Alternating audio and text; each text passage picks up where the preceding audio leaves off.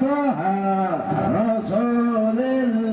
Masa berbagai elemen tergabung Aliansi Rakyat Sukabumi Raya memenuhi alun-alun Masjid Agung Kota Sukabumi, Jawa Barat gelar aksi meminta Presiden Joko Widodo menyikapi pernyataan Menteri Agama Yakut Khalil Kaumas yang membandingkan suara azan dengan gonggongan anjing agar segera dipecat dari jabatannya. Koordinator aksi Aliansi Rakyat Sukabumi Raya Budi Lesmana mengatakan, aksi ini menyikapi perkataan Menteri Agama tentang peraturan pembatasan pengeras suara azan di masjid dan musola. Adapun perkataan yang menyinggung perasaan umat Islam bahwa suara azan disamakan suara suara gonggongan anjing. Para peserta aksi ini menghimbau kepada Polri agar profesional mengusut pernyataan Menteri Agama yang dilaporkan di Polda Riau tentang dugaan penistaan agama dan segera diproses hukum lantaran membuat kegaduhan di kalangan umat Islam.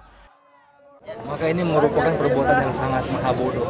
Untuk itu Arasi menuntut agar pertama segera dilakukan pemecatan Kedua, agar proses hukum yang sedang berjalan dilaporkan di Polda Riau juga diproses. Sehingga rasa keadilan masyarakat, rasa keadilan publik ini terjaga. Sehingga tidak ada lagi nanti ke depan orang-orang yang yakut-yakut berikutnya yang menisahkan Islam. Itu harapan kami.